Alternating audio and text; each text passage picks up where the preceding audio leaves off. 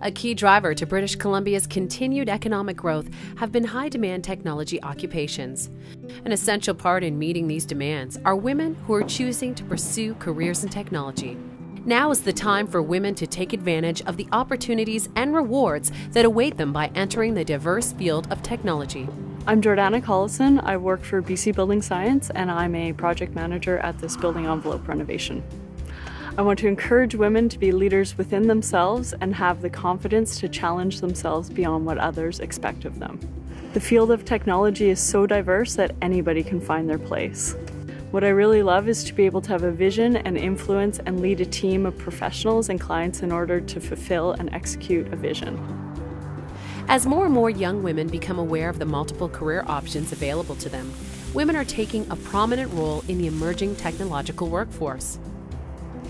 I'm Megan, and I'm a civil engineering technologist. I currently work for ISL Engineering in their structural department. Part of my responsibilities includes structural inspections, which can be bridges. Choosing a career in technology allowed me to do things that involve my mind and that are hands-on. It's that combination that I really love. There are lots of training programs and scholarships geared towards helping women get started in a career in technology. ASTTBC, in partnership with industry and other stakeholders, is embarking the large task of promoting awareness of the technology fields to address the labor shortage of skilled technology workers. The work of ASTTBC is to support this endeavor by promoting careers in technology for women. I'm Kyla. I work for Geoscan Subsurface Surveys as a geophysical survey technician, where I am the field operations manager. Today I'm on site using ground penetrating radar and electromagnetic equipment to locate underground utilities. My job takes me to really cool places. I've been to the roof of Trump Tower, which has amazing views of downtown Vancouver.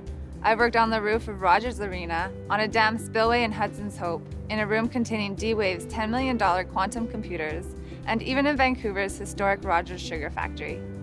There's an urgent need for women to take on leadership positions in technology. Grasp the opportunity. Don't limit yourself. Having pride in your work, being passionate about what you do, taking advantage of the available opportunities, making a difference, innovating change, and being a member of a professional team. These are only a few of the rewards women realize once they pursue a career in engineering, science, and technology. I'm proud of what I do, and I want you to be proud of what you do.